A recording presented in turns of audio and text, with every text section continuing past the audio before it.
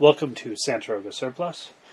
We're going to do a short video on doing a uh, 5.45 by 39 rebuild. This is a 545 by 39 upper that I received a while back. Actually has less recoil than a 223 if you can imagine it, and occasionally it's fun to shoot. However, I don't really like the way it's set up with the A2 upper and the gas block. I want to take the A2 upper off and use it for a 9mm build. So, we, first thing we have to do is take the taper pins out so that we can start disassembly. However, I do not have a good taper pin punch. I can start the pins with one of these, at least this pin. This pin is a little more difficult. So, we're going to go over to the lathe and we're going to make a hardened pin punch. This is a piece of quarter inch drill rod, okay? So this is steel that's hardenable. You can make drill bits, reamers, whatever you want out of it. We're going to go ahead and chuck this up and we're going to turn it down to a fairly small diameter. The problem with turning down to a small diameter is that you tend to bend the piece when you put side cutting forces on it. So we're going to have to put a center on it. So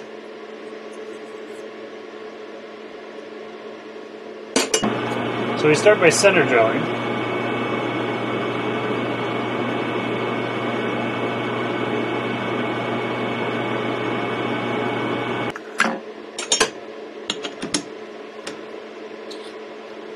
Now we'll bring it out and put a live center in the tailstock.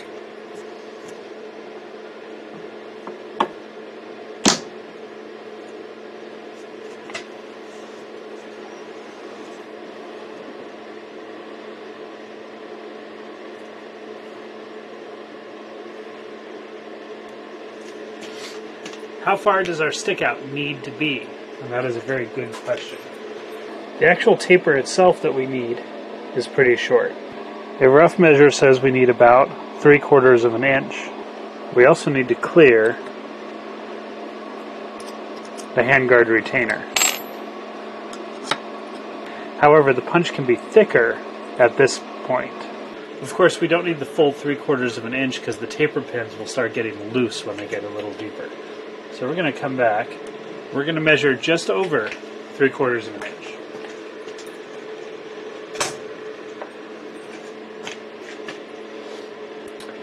And that's because we have a center hole here that we're going to have to grind off at the end. That should give us pretty much the right amount of space.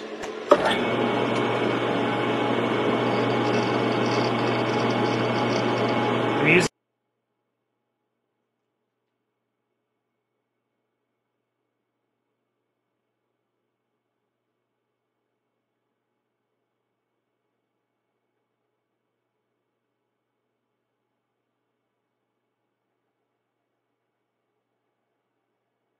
You'll notice I'm using a cutter that provides a curved radius for the cut.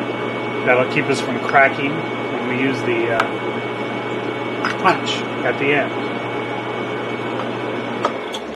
My final dimension is going to be 0.119, so now we're just going to take off material.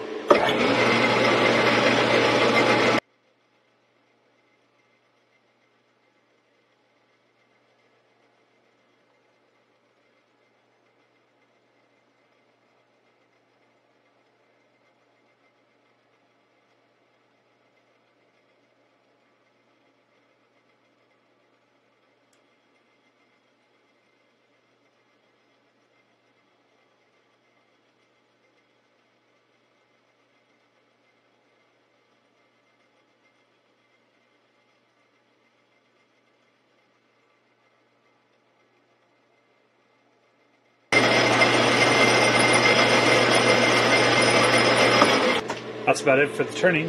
Now we just got to put it on a torch and then put it in some oil.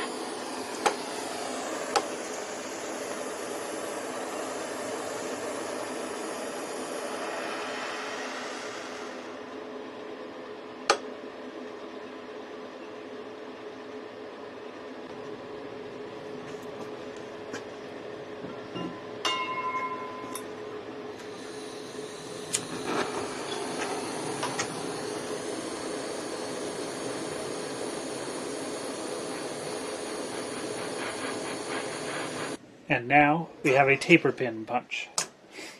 Normally I would use an oven and do a full uh, heat treatment schedule on a knife blade, but this is something that's much easier to do with just simple shop tools. So I used a MAPP gas torch, like propane, but it's MAPP gas. Use the yellow bottle.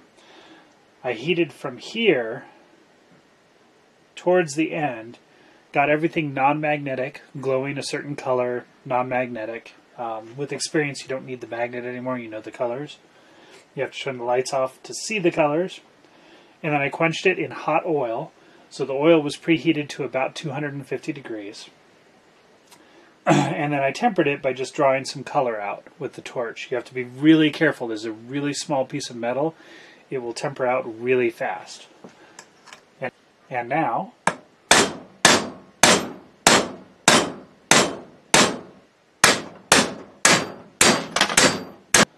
pretty much that.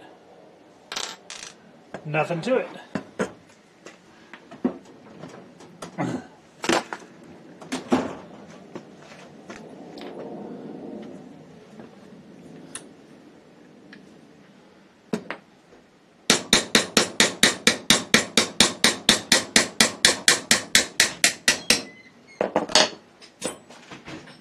And we're just about done. As you can see, we have a pretty decent build here. I went ahead and uh, populated an Anderson lower that I had laying around spare. And this and this are temporary until I find matching olive drab green Magpul furniture, whenever I do. I, and the answer is that I'm going to put a red dot on this or a magnified optic at some point. I want to have the option anyway. We put an A3 carry handle rear sight on this, so you may ask, why did I bother to take the A2 upper off? And the answer is because I would like to do a red dot or a magnified optic at some point. Also because I think the resale value long term of the upper is stronger if I have a flat top upper receiver with this barrel. So, not much to this video. I didn't show you a whole bunch of assembly or anything. The main part of the video was how to make a hardened and tempered taper pin punch. And it's a pretty easy task, and uh, if you need any help, you know, ask in the comments. It's mostly about heating vertical so things don't bend and sag, and quenching vertical with preheated oil. It's really all there is to it. The uh, drawdown you can do with a torch carefully, but you can also just throw it into a toaster oven at 500 or your broiler or whatever. About 500 for an hour, and you should be fine. That's all I got for you right now. Have a good one.